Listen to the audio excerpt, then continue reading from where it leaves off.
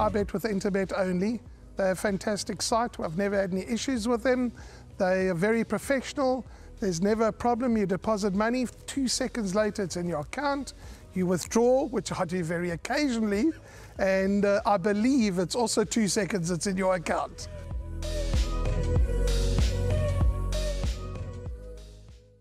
Welcome back for race number three, which will be run over the extended distance. It's over 1900 meters. At the early time of recording, the favorite, number seven, Majestic Warrior, is a generous five to two, I feel. Number 11, Johnny's Hope, is nine to two. And then we have number 12, Blazing Light, who is quoted at seven to one. Number one, the Bun, that could be a little bit of value at 10 to 1, trying the extra trip. That'll be a horse I will throw into my exactors and swingers. But Warren, for me, number seven, Majestic Warrior, you were touching on the Peter Muscutt and Tristan Godden combination.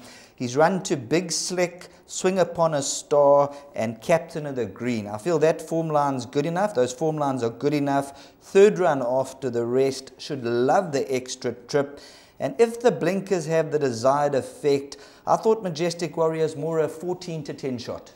Sheldon, we're not going to argue much, you and I, for this race. As we said, we, we, we're in their camp through the course of the day. And just, just go back to the Bund. I'm glad you touched on him because he certainly is a horse that's.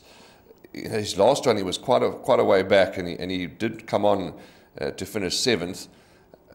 Gate one, he's, he's going to have, uh, you know, a, a it'd be easy for him from gate one over the 1900, which he tries for the first time. So you certainly have spotted a, a, horse that could certainly get into the action. But going back to Majestic Warrior, who's definitely my first choice, yeah, lightly raced, going about it the right way. He's a master of my fate gelding uh, out of a stronghold mare.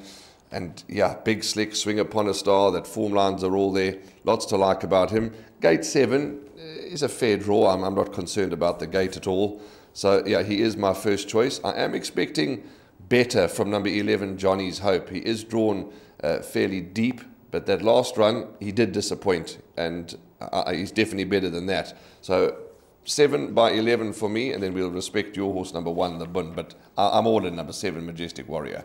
I must just touch on number 11, Johnny's Hope. I know he was a short price favourite last time out, but when he went down to the start, I was in the commentary box and I said he was going down a little bit awkwardly. He didn't seem to be all that comfortable on the way down to the start, so I suggest watch him stretch down to the post, and if he's moving well, then obviously you can factor him into the exactors and the likes. Yeah, Can Canford Cliffs Gelding is Johnny's Hope, and you know, it's, it's interesting to watch, you know, horses go down, and we've all got different opinions, and I think sometimes we mustn't feel shy to, to, to express uh, what we've seen in our, in our opinions because what you saw, fifth, seven lengths uh, off Paris Pike, clearly he was feeling a little something that day.